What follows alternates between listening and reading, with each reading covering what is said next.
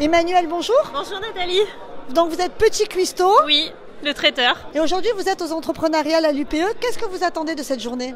Bah, Faire connaître aux entreprises que c'est qu'un artisan qui peut leur offrir des buffets, ce genre de choses, avec une, une notion socio euh, économie sociale et solidaire, avec des chefs qui sont en situation de handicap en fait.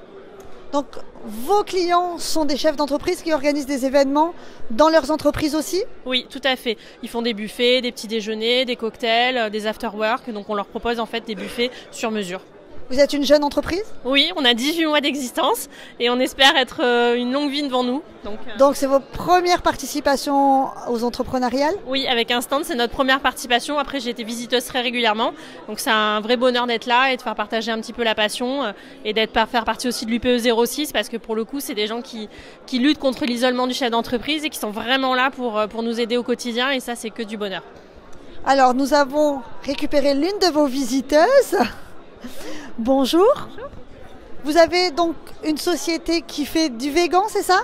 Vegan, absolument. J'ai un projet, je suis porteuse de projet, donc le salon est très intéressant pour moi parce que j'ai la capacité de me mettre en relation avec euh, différents axes de développement afin de concrétiser mon projet. Euh, donc euh, le salon offre bah, beaucoup de, de choses d'enrichissement au niveau de la création de l'entreprise et même du coaching et avec des très bonnes sessions d'information. Voilà. Venir aux entrepreneuriales aujourd'hui, c'était important pour vous? Oui, absolument, parce que je viens déménager là dans la région. Donc venant de Paris, euh, c'est important aussi d'avoir un bon réseau, euh, de se relationner avec les bonnes personnes et puis euh, faire des rencontres qui après développent dans un sens ou un autre l'activité.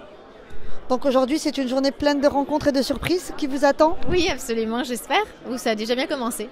Je vous souhaite un bon salon. Merci beaucoup. Merci Emmanuel, merci beaucoup. Merci.